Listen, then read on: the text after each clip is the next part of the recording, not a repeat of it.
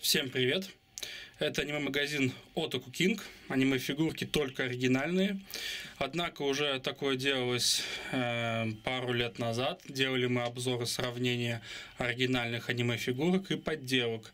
То есть китайских бутлегов, кусков говна, ну и все прочее-прочее. Как раз то самое, чем торгует большая часть аниме-магазинов в России в целом. И хорошо, если эти аниме-магазины пишут, что это копия, подделка и прочее, но большая часть врет нагло, беспардонно, не указывает ни информации, ничего, а потом, когда клиенты им пишут, а что мои фигурки, э, краска криво покрашена, глаза косые, ему начинают втирать э, то, что якобы фотографии, это промо-фотографии, это идеальная фигурка, а вы знаете, вот как бы в этом тираже э, иногда бывает, э, что качество покраски фигурки отличается от промо-фотографии. Это ложь. Это наглая, чистая ложь, такого не бывает. Что касается комплиток больших дорогих фигурок, такого вообще не бывает. Там случаи брака у японцев просто единичные. Что касается комплиток, так, какого-нибудь там новой фирмы. Ну, бывают, конечно, проблемки, но это очень-очень редко. А у экшен фигурок а-ля Figma Nendoroid такие случаи тоже практически не бывают. У прайзов, да, бывает, что краска кривовата там или капля, или даже клей. Бывает, спорить не буду, даже именно что в тираже такое бывает. Но поверьте, обычный прайс э, редко идет в сравнение даже с подделкой. В данном случае это посылка. Здесь два прайза китайских прайза. То есть это подделка на дешевую прайс аниме-фигурку. Прайзы фигурки – это фигурки, которые делают фирмы, э, вроде как вроде таких как Тайто, Фурью, ну и Sega, например. А при этом на уровне прайзов бывают качественные прайзы и не очень качественные прайзы. И тут нету такой какой-то системы. Это чисто зависит от фирмы и все. Именно фирма. У Сеги, например, редко бывает лажа полная. У Фурью, например, бывает и лажа, то есть не очень хорошие прайзы, но и довольно крутые фигурки бывают. Причем прайзы бывают даже такого уровня, что как бы люди с комплитками их путают. Там где детализация, и качество. Но материалы берут подешевле, Поэтому прайзы. Кстати, что такое вообще прайзы? Прайзы – это фигурки, которые делаются только для внутреннего японского рынка, и они делаются для игровых автоматов. Поэтому запомните, прайс – это недорогая фигурка. В России стоимость прайза обычного редко может быть дороже 2000. Если она дороже 2000, ищите другой вариант. Возможно, прайс уже стал дорогим. Как и многое коллекционное, прайзы становятся дорогими просто с течением времени, обстоятельствами спроса, героя и т.д. и т.п. Как и комплитка, которая вначале стоила 5 тысяч, а там через 2-3 года уже 50 тысяч. Ну ладно. В чем юмор? Юмор в том, что это два китайских прайза. Это подделка на дешевую аниме-фигурку, и мы будем делать сравнение. Для начала я хотел просто это как видеотизер показать. Понимаете, вот так китайцы пакуют свои посылки. Большей частью они пакуют их очень дерьмово что ж тут говорить. В данном случае не сказал бы, что это худший вид упаковки, что я видел, но один из самых худших, честно говоря, точно. Э, в общем, там картонная коробка, как видите, уголок протерся уже. Там картонная коробка, она, видно, уже помята жизнью, побита. Ее просто закинули в пластиковый пакет. Пластиковый пакет там мотали скотчем крест-накрест. Он причем уже успел пожелтеть. Значит, скотч, скажем так, фиговый. А, потому что я не уверен, что обычный прозрачный скотч может за 15 дней вот в такое превратиться. Дошла она довольно быстро. Ну, я сейчас точно не помню, но где-то дней 15-20 точно. Из Китая сейчас посылки, конечно, быстро ходят. У нас почта с этим делом навострилась, они какие-то договора там заключили, поэтому все очень быстро. Даже обычный саурик из Японии часто ходит 3-4-5 э, недель, в то время, когда вот китайские там за 2 недели, ну, процентах в 70 доходит без проблем проблем. Особенно, если у него есть трек-номер. Поэтому лучше заказывайте с трек-номером. Да, дороже, но надежнее и проблем нет. Сейчас я вскрою коробку, покажу, как это будет выглядеть. Но сам обзор сравнительный в виде фото и видео будет уже чуть попозже. Я не скажу, когда, честно говоря, я сейчас не знаю. Я уже пять минут тут, э, скажем так, э, общаюсь непонятно о чем. Кстати, если хотите от меня услышать какие-нибудь интересные лекции, истории, ну фиг знает, пишите в комментариях, я постараюсь какие-нибудь вот видосики снять, рассказывать о чем-то полезном, бесполезном, интересном, потому что все-таки за 12 лет случилось крайне большое количество случаев. Я не буду заморачиваться с вскрытием. Здесь, честно говоря, заморачиваться не надо. Режем пленку. Коробка бэушная. Нет, ну всякое бывает. Я не буду врать, даже мы клиентам иногда в БУ коробках отправляем. Это, во-первых, экономит деньги на упаковке, а во-вторых, если коробка хорошая, почему и нет? Ну, это, конечно, очень БУ коробка. Но, как видите, пленка обычная, ничего особенного. Гуляй, Вася. Коробочка. Коробочка такая вот порезанная, пожратая, со скотчем внутренней японской почты. Уж не знаю, откуда это все. Эх, скотчик. Фу, ненавижу я скотч, честно говоря. Китайский скотч, кстати, один из самых омерзительных. Я не знаю почему, наверное, потому что берут какой-нибудь дешевый отстой. И мне, честно говоря, интересно, во-первых, фигурки, насколько я помню, должны быть в коробочках. Во-вторых, в каком состоянии они приход... это в данном случае пришли. Ламинатная подложка. Помню, лет 7 назад мы ее тоже использовали для упаковки посылок. Честно говоря, не самое лучшее, но на фоне многого это ничего. Так, так, ладно, тут не получится просто так.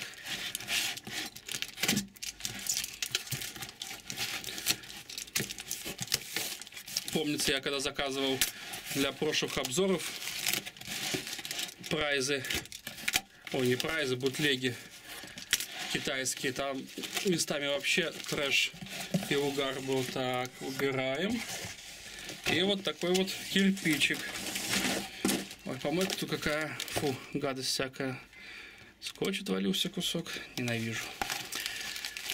Так, здесь две фигурки должно быть.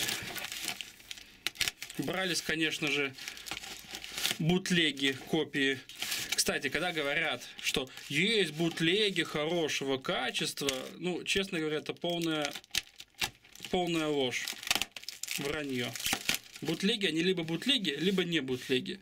Но я не буду, конечно, на китайцев гнать. Скажу честно, что за последние 10 лет, а точнее за последние 7-6 лет, китайцы довольно сильно подняли качество бутлегов. Но не забывайте, что бутлеги, да, не дешевые, но вы их потом просто выкинете. Оригинальные аниме-фигурки вы хотя бы потом можете продать, а некоторые подорожают довольно сильно.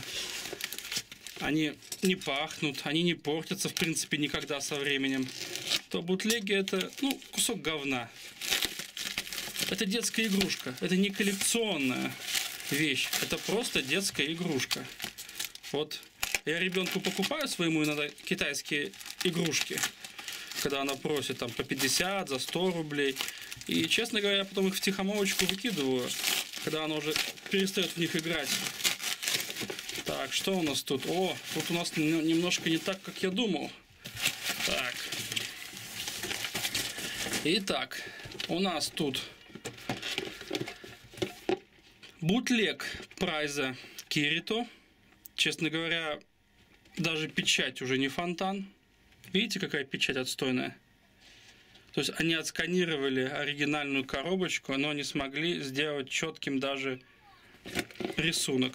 Обычно он вот вообще видно отстой. Вот такого не бывает никогда. Красный текст обычно очень четкий, все очень красиво и понятно. И даже видно, как вот тут, например, вот где вот 15, видите, смазано все. Я видел бутлеги с качеством печати на коробках получше. Вообще коробки научились делать. Это бутлег Изуми Сагири. из аниме Романга Сенсей. Ну, во-первых, понятно, что вот скотч отстой, он уже желтоватый, хотя я не знаю, сколько фигурки времени.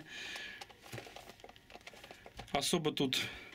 Ну, я вскрою, покажу. У меня, к сожалению, нет этого недороида в оригинале, поэтому обзора его не будет.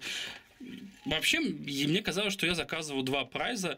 Кирита одного и вроде Асуну, и что-то еще. Одну отменили, не было в наличии.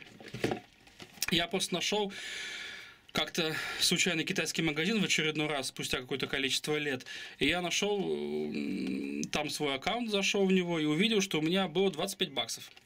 И я подумал, дай-ка я закажу бутлегов, чтобы вот сделать обзоры интересные, потому что на обзорчики смотреть иногда очень прикольно, когда они по делу. Коробка недороида, кстати, ничего. Довольно качественно. Даже вот розовый текст более-менее четкий. А сам рисунок так вообще процентов на 70 от идеала. Нету смазанности, нету проблем. Как видите, китайцы начали делать фигурки не как 10 лет назад. Лицо довольно четкое, волосы без особых ярких проблем. Видно, что вот тут, вот тут, вот на хвостике покраска и прочее. Ну, это я отдельно просто сделал обзор, наверное, на нее. Фигурки не с Алиэкспресса. Называть магазин я не буду, это как бы реклама будет. Мне они за это дело ни копейки не платили. Если бы мне присылали бесплатные фигурки на обзор, я, наверное, бы без проблем бы рассказывал, что и как. И Кирита Прайс. В наличии он у нас есть. Это белый получается, да, белый. Так что сравним белого с белым. В наличии белый еще был, если я помню. Но уже видно по типографской типографскому качеству печати коробки, что качество-то отстойненькое. Я не знаю, понимаете, юмор-то в чем? Я почему решил сделать э, обзор на прайзы, ну, на подделку, на оригинал. Сами по себе прайзы редко бывают очень качественными. То есть они уже, скажем так, низкий потолок фигурки. То есть, в принципе, э, подделка на комплитку, на PVC-фигурку, на дорогую фигурку, она по качеству у китайцев примерно как прайс выглядит. Ну, в большинстве случаев. И мне интересно, а копия прайза, она по качеству какая? То есть, она вообще-то дерьмовая должна быть? То есть сам прайс по себе в Японии это полторы тысячи йен стоит, например. Это 15 э, долларов, это, грубо говоря, тысяча рублей. Но бутлег стоит-то дешевле, там 400, 500, 600 рублей. То, что вы покупаете бутлеги там, ну, если кто смотрит меня, кто покупал копии и знает, что это копии китайские, то, что вы покупаете бутлеги по полторы-две тысячи в аниме-магазинах, причем бутлеги прайзов, например, да, то вы знаете, ну, это вообще дерьмо на самом деле. Которое, ну, по мне так стыдно ставить на полку и прочее. Ладно, если ты там школьник, у тебя денег мало, ты копишь вот на праздник там китайский. Это я еще могу понять. Но когда ты человек уже взрослый, дарить такое, покупать себе, надо быть выше этого. Так, ну он даже не заклеен. Он реально не заклеен, кстати, смотрите. Ни скотча, вообще ничего. Посмотрю уже, что внутри. Так. Ну, насколько я помню, оригинальный прайс упаковка не совсем такая. Кстати, обзор оригинального прайза на нашем канале есть. О, ну вообще зашибись, жлобы. О, жлобы какие. Ну, что касается подставочки, подставочка это знатное дерьмо. Вся в царапинах. Вон, вся в царапинах. Просто ужас, если честно. Так, ну, фигурка, которая болталась, ну-ка целая, ну хотя бы целая. Ну что сказать, я подержу просто, вы посмотрите. В общем, такое ощущение, что у него по лицу а, асфальтоукладчик проехал. я не знаю, как сказать. Ну, спиртом, нет, не спиртом, растворителем брызнули в лицо у Кирита. Потому что конкретно по качеству прайзы такого, так, такими дерьмовыми не бывают. Было у меня много прайзов, немало прайзов я фотографировал. Я не буду врать, говоря, что это офигенный прайс. Так, мечи есть. Ручки для мечей есть. Мечи уже видно, как вот тут облой называется. Это вроде вот пластик по краю, видите, торчит. У прайзов, ну, такого говна не бывает. Прошу прощения, конечно, за ругательство тех, кого это может оскорблять, но когда я вижу вот подобные поделки китайцев, э, меня это да мне все равно, честно говоря, люди же покупают. Но обидно, когда люди не знают, что они покупают китайские подделки за кучу денег, переплачивают 3-4 их цены. А Ниндородига придется, видно, отдельно скрывать и показывать. Надо глянуть, кстати, может в наличии есть, я не помню. Проблема нендов, бутлегов в том, что у них крайне слабые суставы и очень часто бывают проблемы не только с качеством фигурки, а именно суставы. Экшн-фигурки, фигмы, нендороиды и многое другое, ну, честно говоря, я особо не помню то, что еще делают э, популярное, они рассыпаются. То есть один сустав там шарнир нормальный, а другой сустав шарнир просто не держится. В итоге у него башка будет падать, рука или нога или еще что-нибудь. И в итоге, я так думаю, многие просто их на суперклей склеивают, потому что куда уже деваться? Фигурка не стоит, например.